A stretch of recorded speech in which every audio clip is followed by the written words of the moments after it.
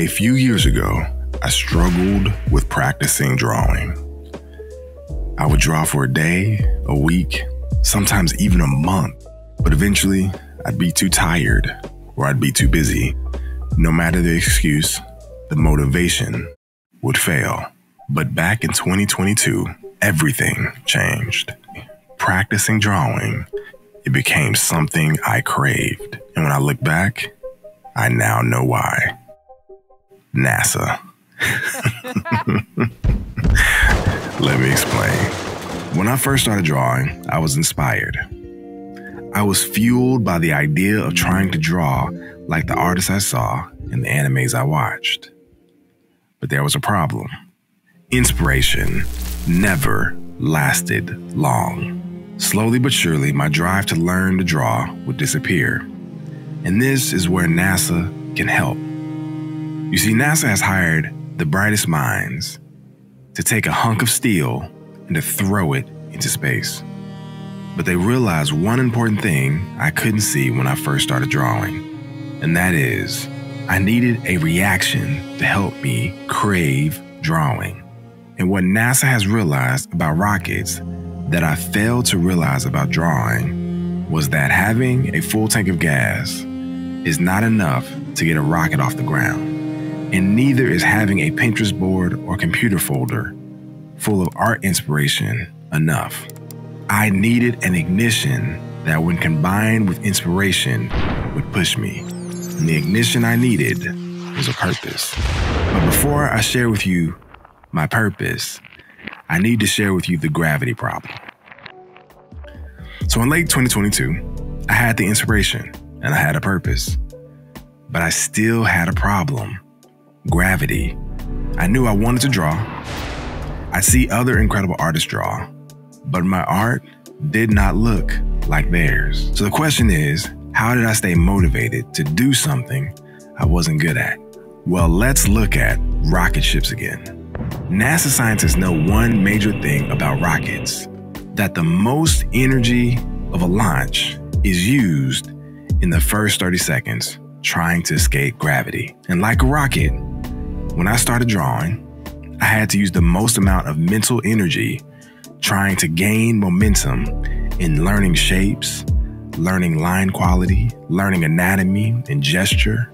These fundamentals took time and a massive amount of energy to learn, but I was able to shortcut the energy I used by doing one thing.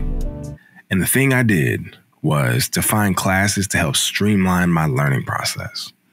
Classes such as character illustration, drawing faces, figures, and clothing by Gabriel Picolo.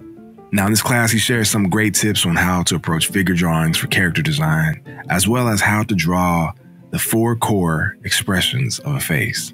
Each of these tips I found to be useful in improving my overall understanding of figure drawing. And this class can be found on Skillshare, who is kindly sponsoring this video. Now, Skillshare is an amazing platform with thousands of classes led by incredible professionals who teach illustration, design, digital drawing, traditional drawing, animation, and way more. If you're ready to take your learning to the next level, then the best part is you can get all of this for free if you access the link down below. So the first 500 people to use my link in the description will receive one month free trial of Skillshare. Get started today so you can improve your artwork.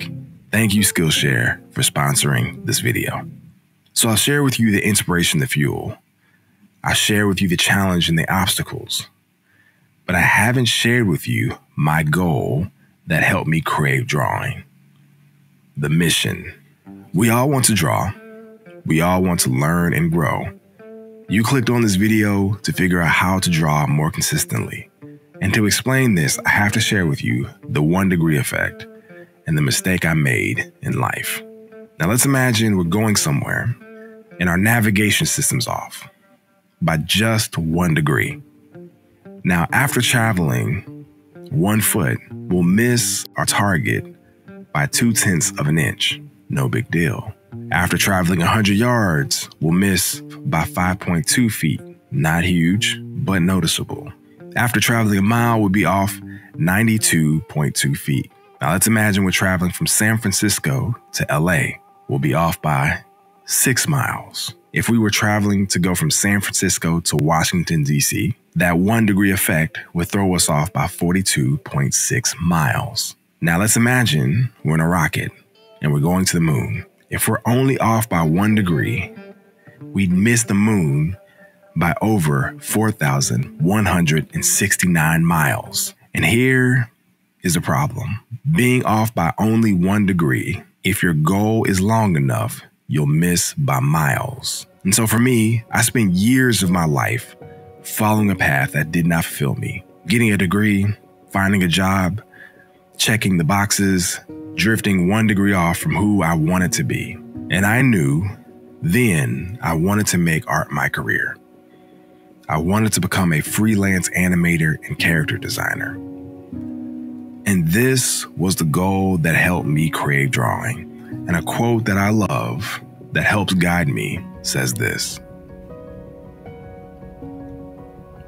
And so, by being crystal clear about my direction, my path, I realized that even the smallest or largest of challenges could not and would not change the direction I set for myself. So the question becomes do I draw every day to help me achieve this goal?